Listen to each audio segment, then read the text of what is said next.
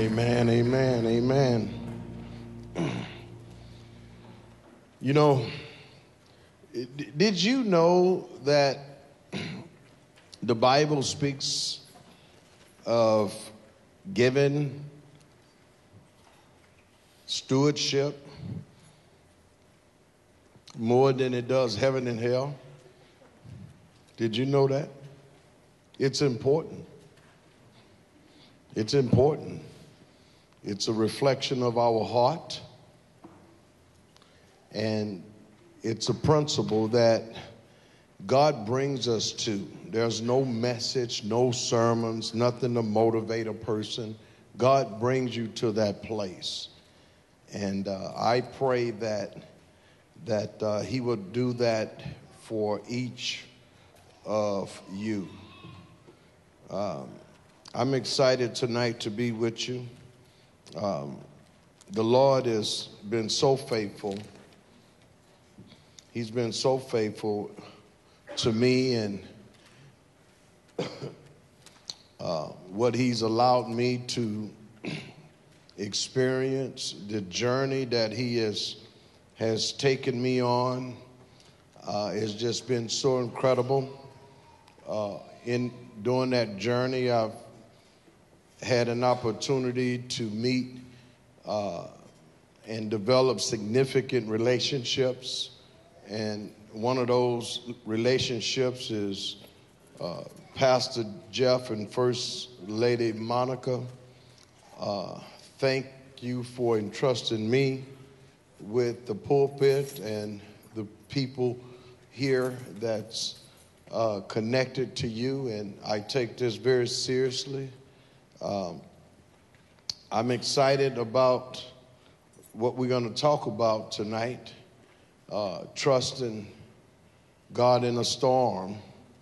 Um, there are storms of life that is, they're just there.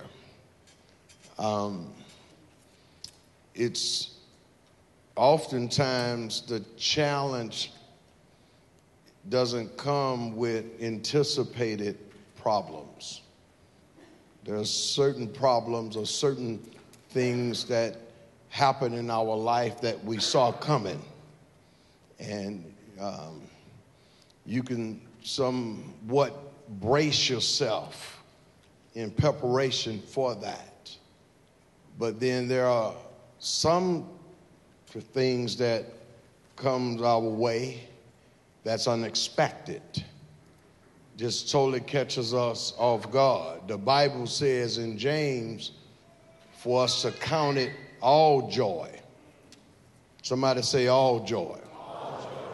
When we fall into various or different temptations. And the operative word there is fall. Count it all joy when you fall. It, it, it, it's the same word that that's used when the Bible says that the man was going down from Jerusalem to Jericho and he fell among thieves. It wasn't his idea to get knocked in the head, he was ambushed. They laid in wait for him and they pounced on him unexpectedly. So count it all joy when problems come out of nowhere and just ambush us and takes us uh, captive and hold us. Uh, these are the challenges in life. And our scripture is coming from Mark chapter 4, verse 35 through 41. Father, we love you. We thank you we ask right now that you allow your word to go forth and uh, do the things that it's intended to do. I pray that I may decrease, that you might increase. Draw us closer to you, God. Let us embrace you through everything that happens in this life on this journey.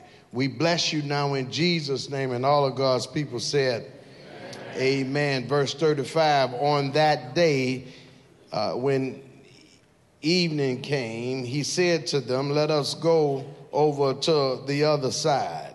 Leaving the crowd, they took along, they took him along with them in the boat, just as he said, and other boats were with him. And there arose a fierce gale of wind, and the waves was breaking over the boat so much that the boat was already filling up.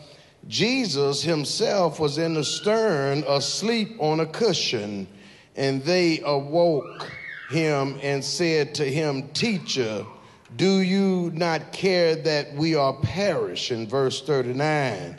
And he got up and rebuked the wind and, the, and said to the sea, Hush, be still. And the winds died down, and it became perfectly calm. And he said to them, Why are you afraid? Do you still have no faith? Do you still have no faith?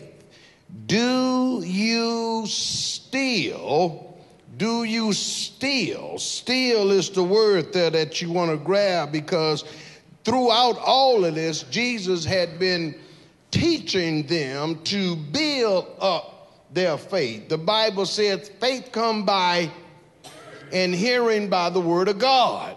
Unless we hear the word, faith cannot be risen up in our life. Verse 41 They became very much afraid and said to one another, Who then is this that even the wind and the sea obey him.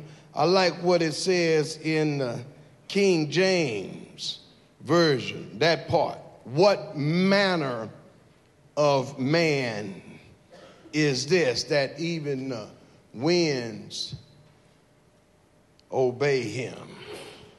Trusting God in a storm. As I look at faith and define faith, I, I defined it in, a, in this way faith is acting like God is telling the truth. Yeah.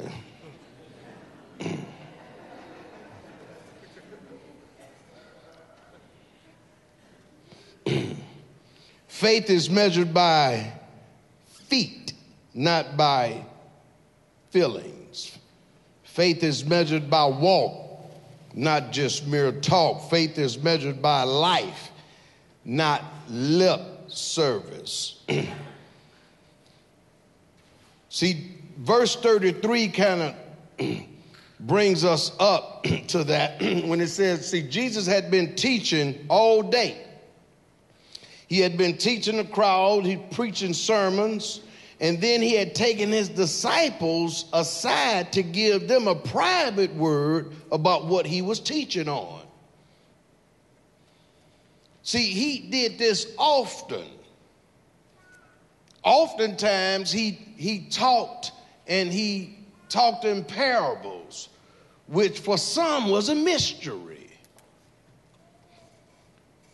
And while the disciples were committed to him, they were just as clueless as the people he was speaking or teaching to. So he called them aside and gave them a deeper understanding of what he was teaching on.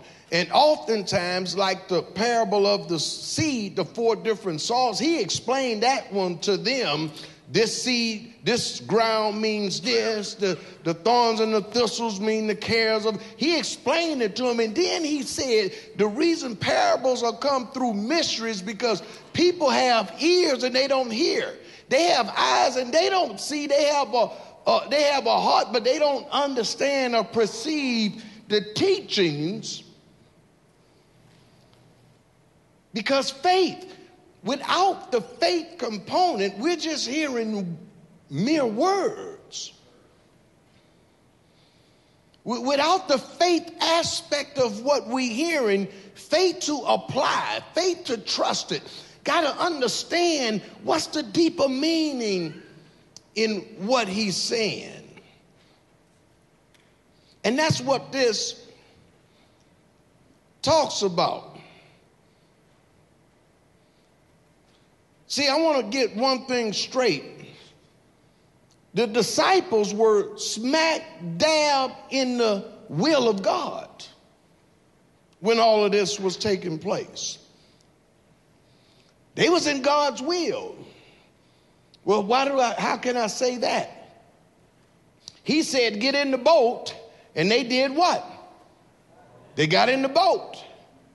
Was it well, why we got to get in the boat? It wasn't no kickback, no pushback. He said, do this. They did it. He said, come, they went. He said, stop, they stopped.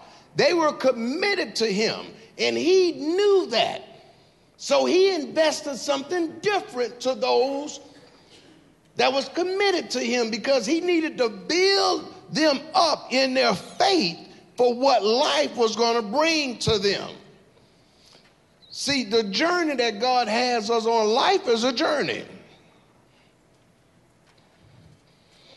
Life is a journey.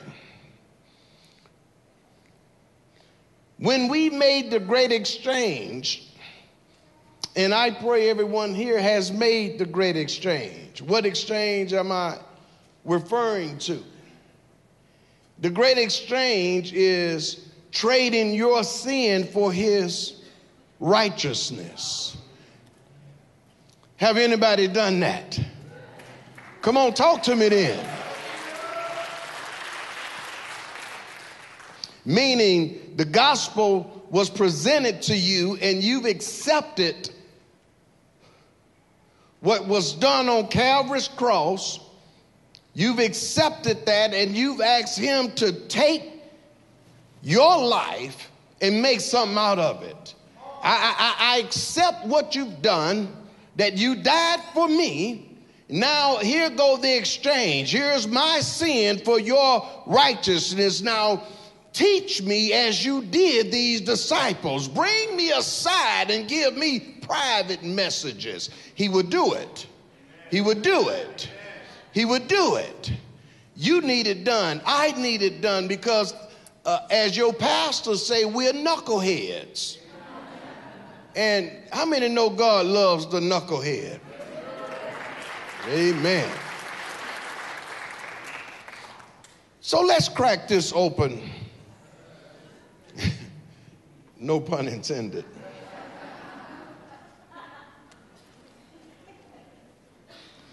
As they got in the boat and began their journey with Jesus in the boat,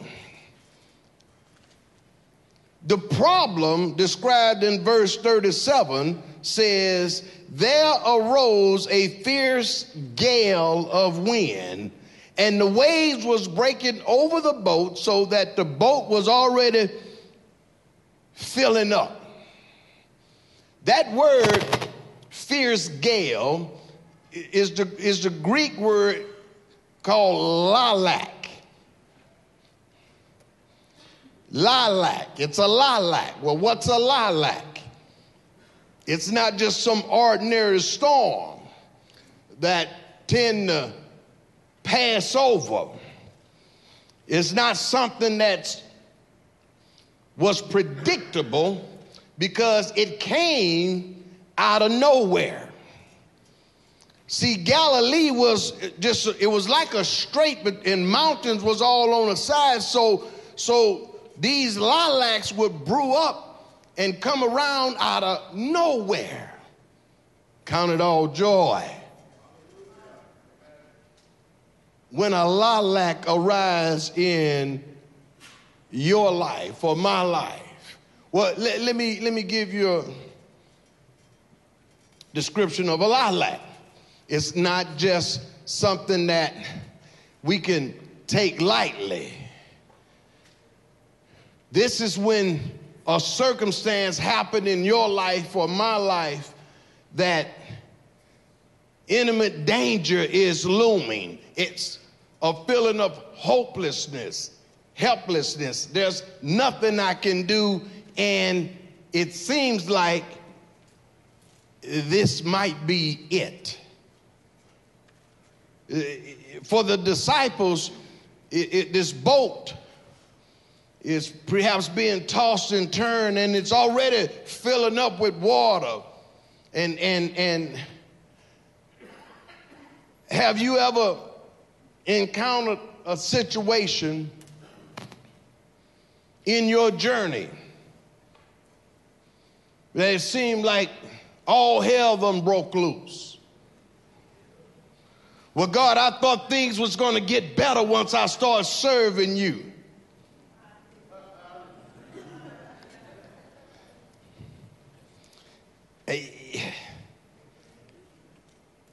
I don't see no way out of this one. In, in, at the end of the first service, was, was praying with this young lady who was facing just a situation that kind of best described this. It, it, it wasn't a what we're talking about wins, and these are these are this happened to them. But as you connected to the, to your life, it could be a lilac, could be a job and you the breadwinner.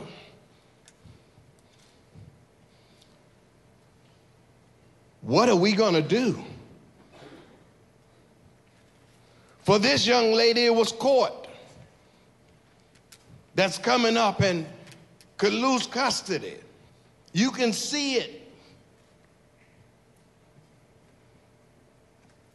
What am I going to do? When this thing comes out of nowhere. See, for the disciples, the, the boat was filling up, the wind was blowing at such a speed that it threatened to take them under. Has it been situations in your life that look like it is threatened to take you under?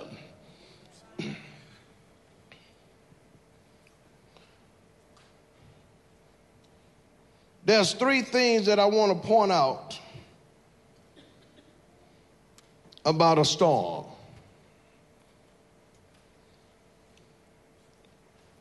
A lilac.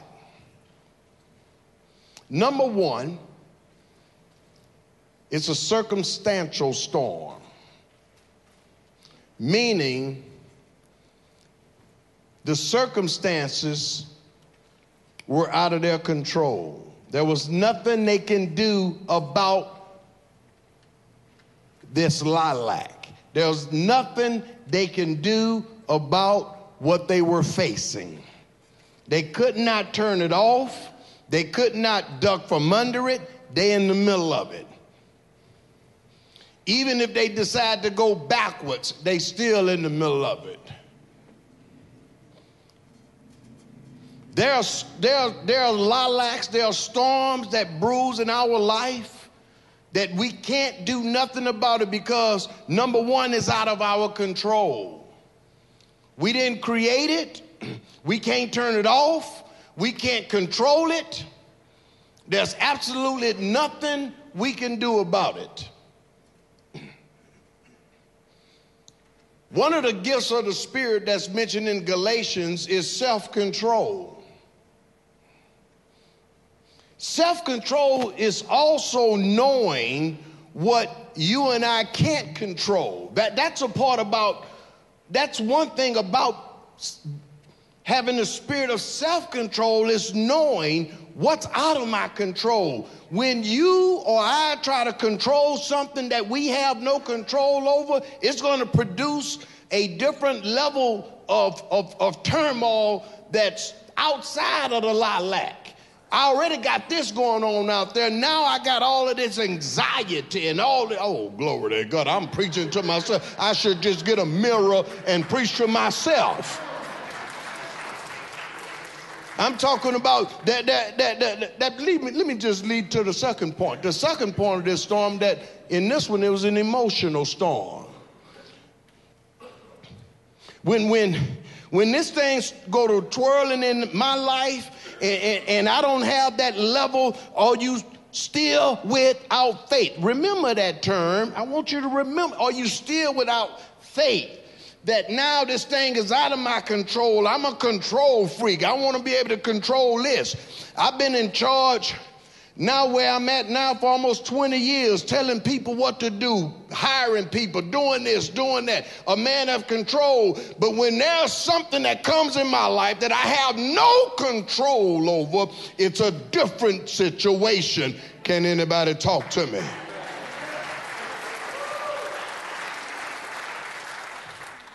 This lilac, I can't just say to this thing, be quiet. I can't tell my circumstances to line up because it's out of my control. Point two of this of this storm, about this storm, that it was an emotional storm. How can I say it was an emotional storm? Verse 40, we know that it, they see, Jesus told them in verse 40, he said, Why are you afraid? What they was facing that they had no control over caused a level of fear to arise in them. Now we have to be careful. When we're dealing with situations that's out of our control, I'm not talking about some migraine headache that you can take some Excedrin and, and it goes away when you wake up. No, we're not talking about this. We're talking about where this thing is filling up, water is filling up, and situations are not getting any better. Seems like they're getting worse. I am trouble on every side.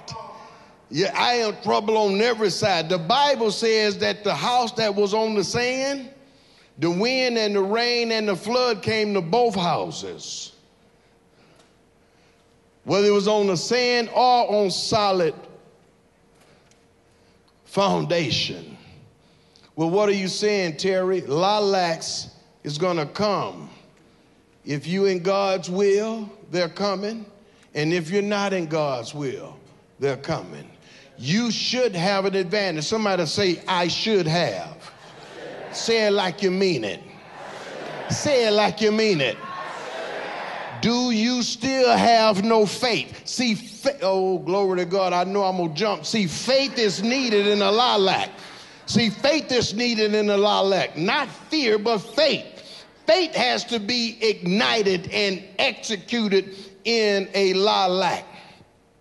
See, if you, if you, see, when you're riddled with fear, when fear come upon you, you would do like the man that had the one talent. What did he do with it? He buried it. Why? He said, I knew you was a hard man, so I buried it. Fear made him bury what he should have invested. See, fear can, can make us, uh, uh, fear can paralyze you where you don't do nothing, or fear can make you make a decision that you will later regret. It all depends on the personality of the person. Some, some people already are high strung. Man, and lilacs just have them like they are on NoDoz. It's like, whoa. if that's you, that's fine. We're going to be praying tonight. I, I want to read this, this, this, this quote from um, Robert Schuller. And, and this is what he said. He said, Never cut a tree down in the wintertime. Never make a negative decision in low times. Never make your most important decisions when you're in your worst mood. Wait, be patient. The storm will pass, the spring will come.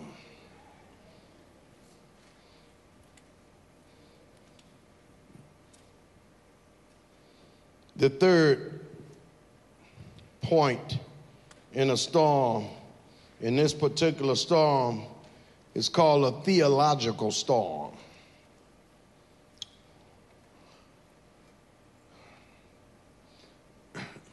Jesus always taught his disciples the meaning of what he was doing so they can get this down past their brain into their spirit.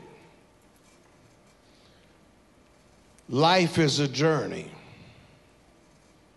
And in this journey, God has a way of teaching you and I what He wants us to learn through every situation that we face. He has a way of teaching us based on how fast we learn, how slow we learn.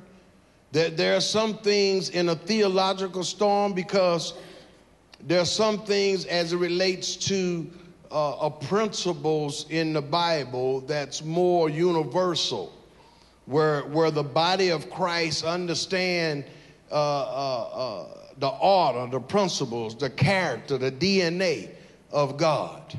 But as it relates to a storm, because a storm is personal,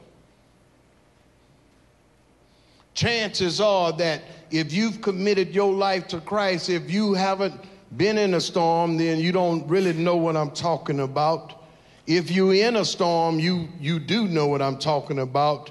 And if you, if you haven't been in one, just wait. Because there's something that he's going to teach us. There's something he want to correct us. Sometimes storms is not for correction, but sometimes they are. If God chasing us, it's a sign that he loves us because he he corrects and chasing those that he loves. This theological storm is based on my personal relationship with him. And, and that's where it can get confusing in a universal setting because my relationship with, with God and your relationship with God and your relationship with God is based on your experience with Him, your knowledge, the environment that you was raised up in. There are some people that was raised up in an environment where God wasn't even present, and there was some people raised up where they said the Apostle Creed for breakfast. So the environment, so my relationship with him is is is is developed and it's it's because of who I am and what I've been through, what I've been exposed to. And and and so you don't have to be fearful if that wasn't your situation because the God that I serve can carve out and we'll carve out a personal relationship with me, with you, with you, with you. It doesn't have to look like mine. It's not gonna look like mine. You know why? Your lilac won't be my lilac. Somebody talk to me in here.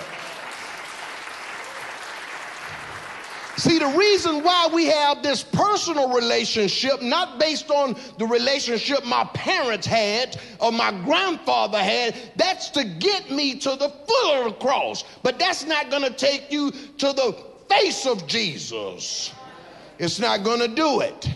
What's going to do it is that when you carve out, when you have this way, of when this lilac comes in your life, do you have a personal way of waking him up?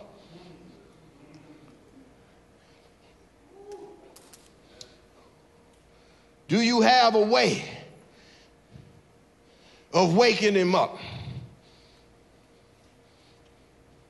I was sharing in the first service as I develop and grow and and and I have a a way of of, of, of getting a hold of him and having him enter my environment. Uh, just riding. I got a couple of songs that I could put in that's programmed. I could put them in and it takes me. Oh, glory to God. Anybody, these worshipers are smiling. They know what I'm talking about. But there's something that can just take me and set me there. Where, I, where, where something began to transform on the inside of me that changes how I think, how I'm viewing what I am going through. Hey, when, when the fog is there, I, I can't take chances because I got too many people connected to me. I, I, I got to be steady in a lilac. Eh, because of what I'm doing and who I am don't mean I'm exempt from a lot lilac. I can't have this emotional reaction. I can't come to work all frazzled.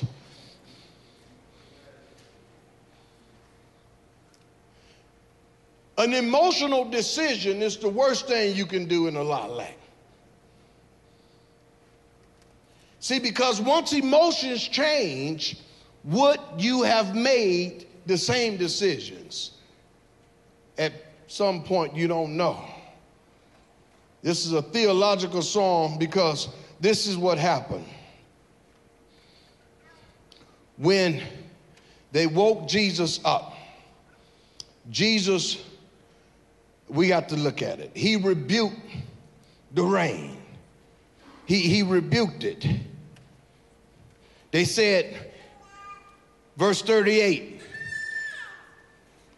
Jesus himself was in the stern, asleep on a cushion, and they woke him up and said, Teacher, do you not care that we are perishing? He got up. He didn't say nothing to them. Which, hey, listen, that was a stupid question.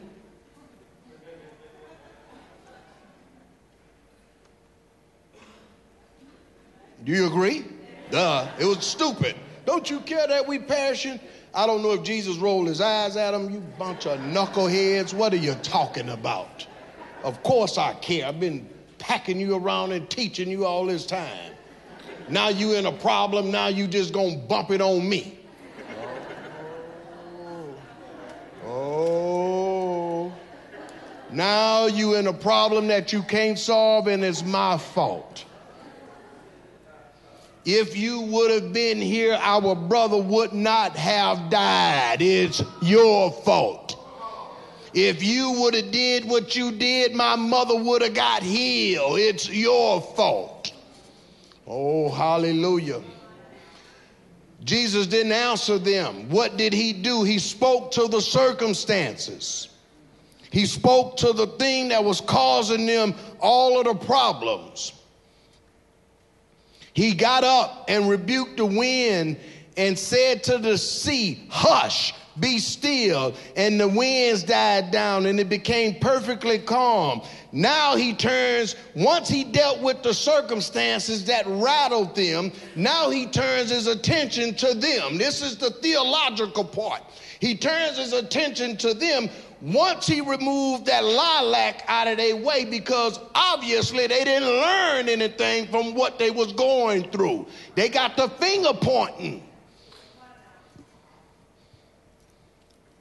Turns his attention on them and said to them, Why are you afraid? Do you still have no faith? Then they be, became very much afraid. They was afraid of their situation. But once he got up and spoke to the situation, and it was no longer the thing that was causing the fear, they shouldn't have been afraid anymore. But once Jesus asked them the question, Are you still with no faith? Now they become very much afraid. This is the theological part of the storm. The situation has been handled. He talked to them about their faith that's connected to the situation. Whatever you are going through, have faith been exercised? That this is not a church response. See, this is not a universal thing because this is a personal thing. Because the, the thing that I'm going through, the thing that you're going through, is going to take your faith in him to say, regardless of what we're going through, what I'm going through is not going to trump what he told me. Well, what did he tell the disciples? Well, let's get in the boat. Get in the boat to go where?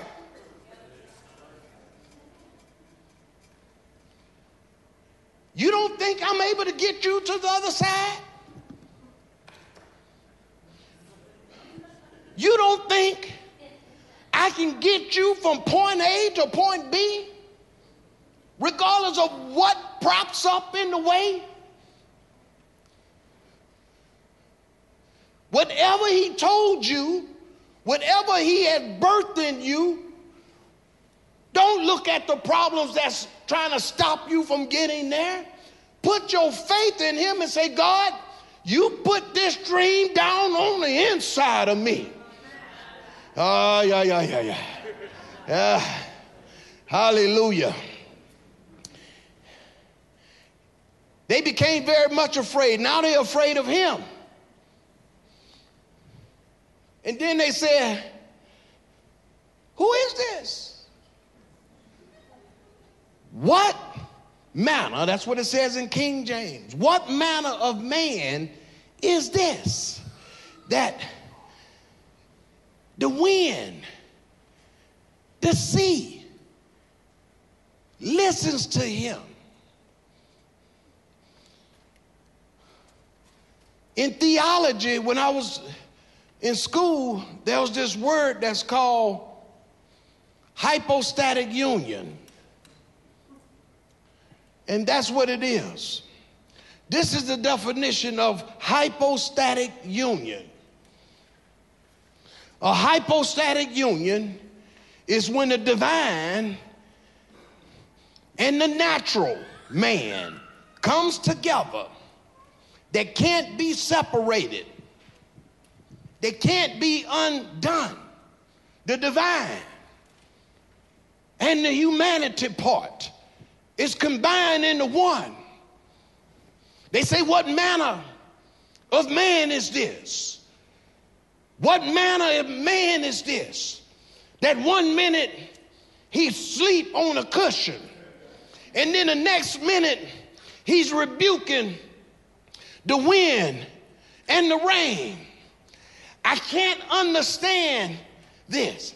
I, I, I, I, I'm fearing the wrong thing. What manner of man have you committed your life to? What manner of man have I committed my life to? He is the same one that can go in Gethsemane and drip sweats of blood. He can agonize like a human, not wanting to go to the cross. The human man says, if there's any Oh, other way, let this cup pass for me. But the divine says, nevertheless. yeah, yeah, yeah, yeah, yeah. Hey, hey, hey, hey. Listen. Listen. I don't want you to fear the wrong things. I don't want you to be intimidated by your circumstances. I don't want you to have whatever you're going through paralyze you to the point that you do nothing. Or anxiety and, and, and these running emotions are cause you to do the wrong thing. There's some situations that come up in your life that you can control. If you're in a bad relationship, just leave. Yeah, that ain't a lailaps. That's just dumb. I don't know. It is. It is not in my notes. That's like Brother Earl said. That's a pop up. But I'm not talking about a situation that you can control, you can do this, you can do that. I'm talking about a situation that looks imminent. This thing looks like it's finna swallow me up. I can't do nothing. What am I gonna do? Fear has taken me. I can't go left, I can't go right.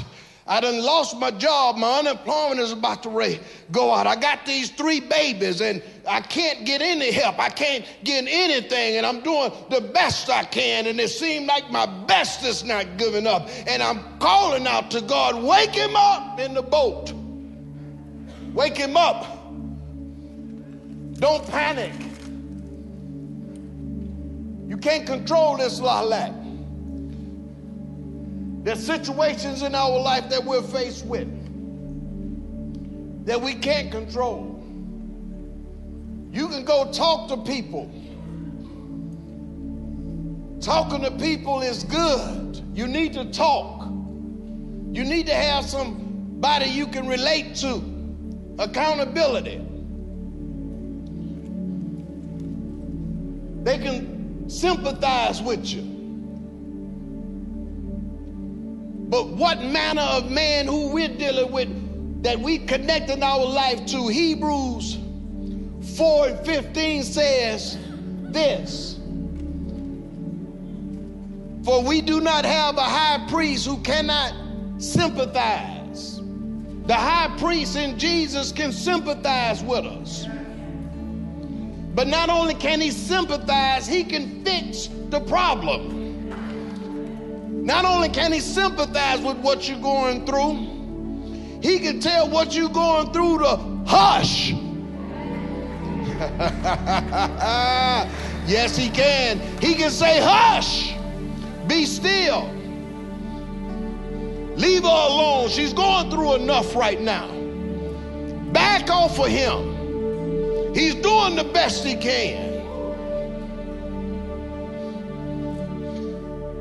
Lilacs can discourage us.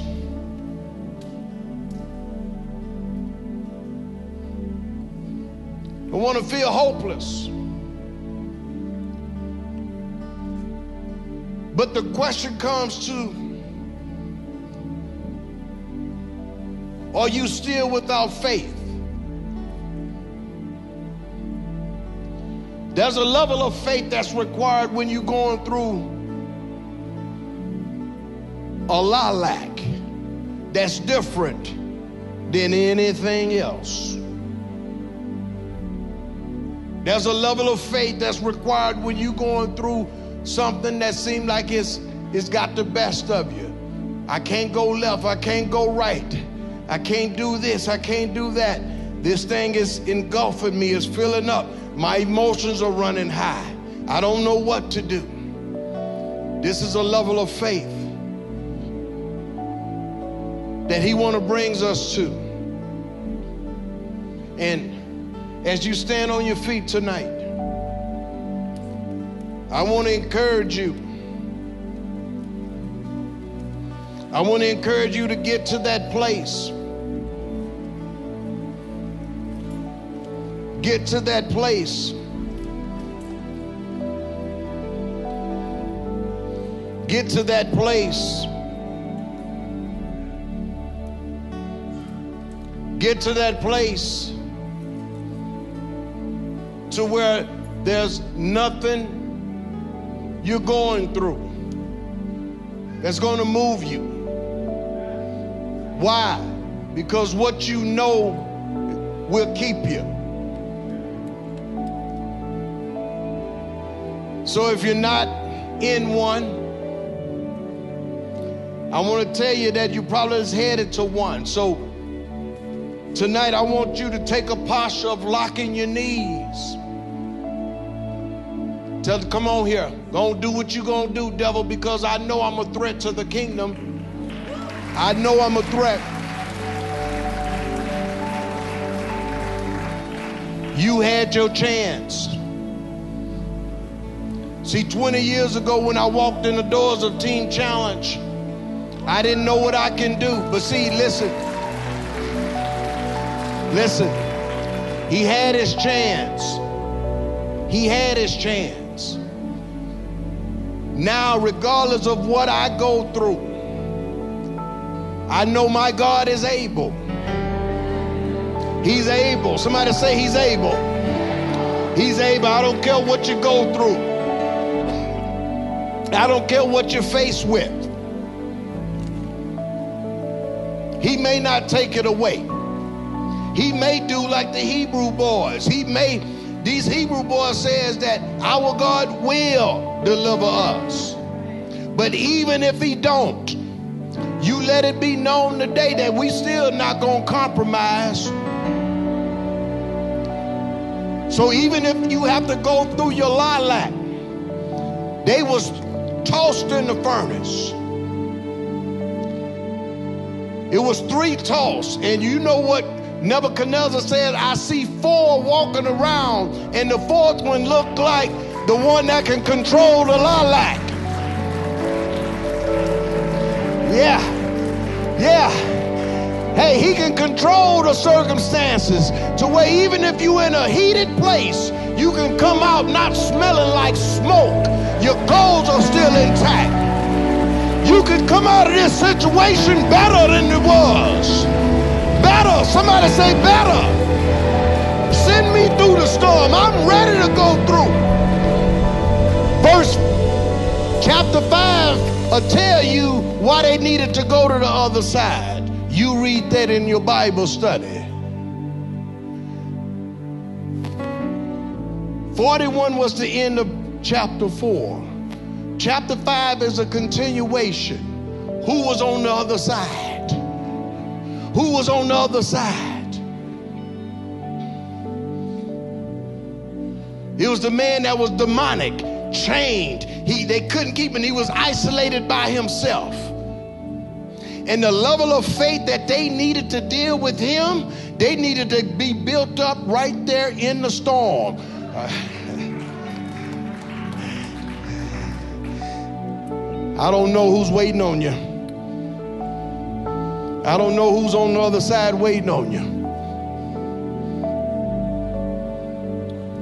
You can't turn back. For where will we go? For God, you have the keys to eternal life. I don't have anywhere else to go. I done forsaken the world.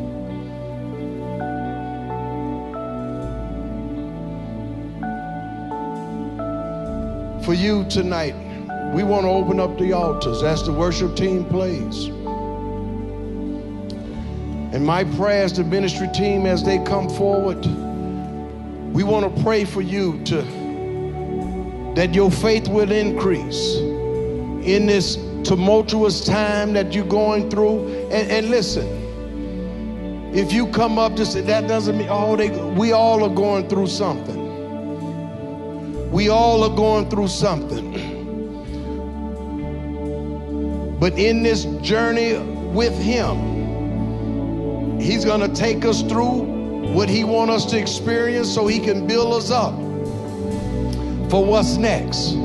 There's something exciting for, for you. God has something designed, carved out for you, regardless of where you are right now. So we want to open up these altars and pray and touch and agree that this thing gets heavy. We know it gets heavy. And we want to just pray with you. Say, listen, I, I, I didn't know it was going to be this bad or last this long. We can't control it. The people who's praying for you can't control it to say, let it stop.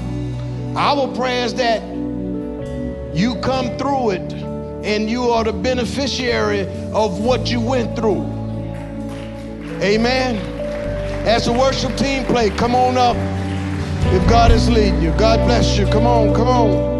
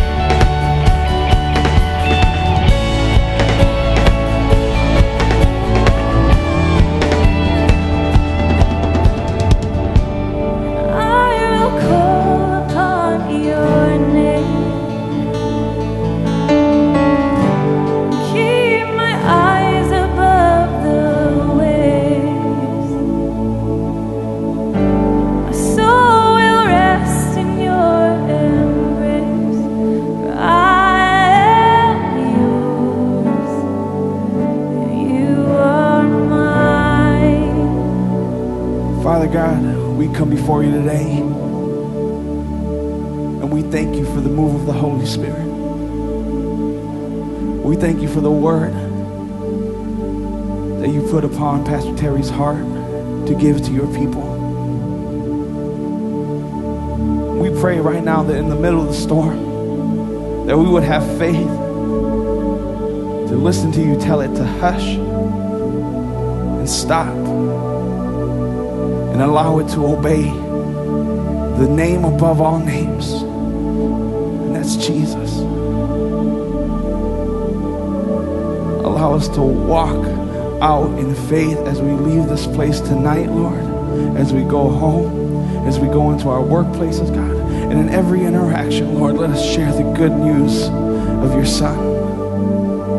So, Lord, be with us and provide us traveling mercies, Lord, until we come again. And in your name we pray, amen.